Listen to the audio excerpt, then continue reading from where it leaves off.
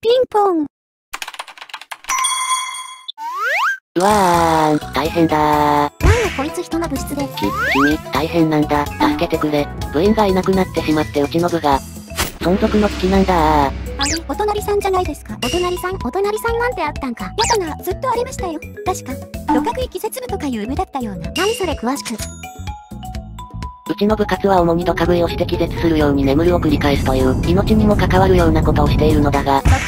最近部員の多くが音信不通になってしまって、なんで？多分気絶してそのままになっていると思われ。このまま気絶部員が増えてしまうと部の存続が危ういのだ。気絶部員とかいうパワーワードやめろ。頼む、助けてくれ、名前だけでも貸してくれまいか。えー、さすがにな。ふむ。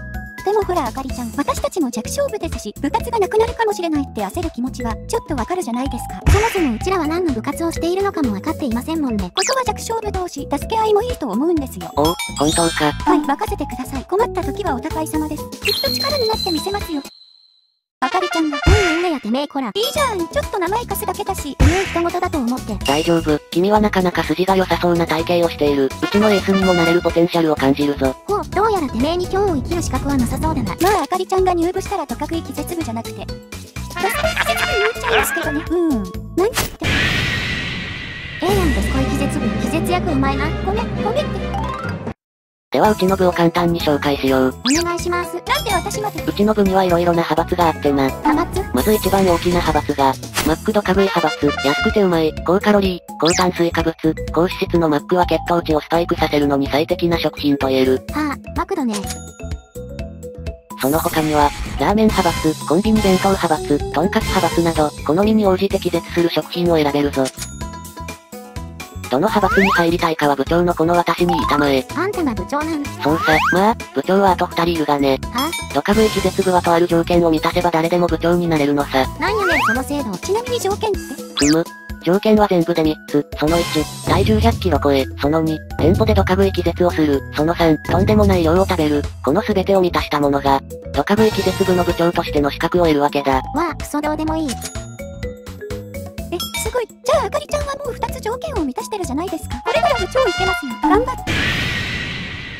ほう、この3つの条件のうち、うちがすでに2つ満たしていると、どれとどれのこと言ってるのかなうん？う、うん。気のせいだったかも。じゃあまずはオーソドックスにマックから。ハンバーガー、ダブルチーズ、ビッグマック、ナゲット15ピースにポテト L。食うぜー。ふう、もしもし、あ、はい？どうしました？足らんが、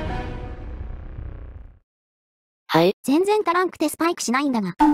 ほほほーん、やるなしん入り。ではさらに追加で、ラーメン餃子チャーハンセットを追加だ。わーい。え、手品？あれ？部長さんは食べないんか？え、部長？ですよねえ、もしかして、その程度の量でスパイクしちゃうわけじゃ。ないんだなこれが。ほら、俺にもラーメン餃子チャーハンセットを追加だこら。ぐー、こら。え？だりんのだが。あ、いや。私今気絶中。その程度でスパイクしてんじゃねえぞいえいえいやえ？もっと追加だ早く持ってこいボケ。いやあの部費が、新入部員一人の腹も満たせないとか。それでもドカ食い気絶部かごめんなさいもう無理ですー。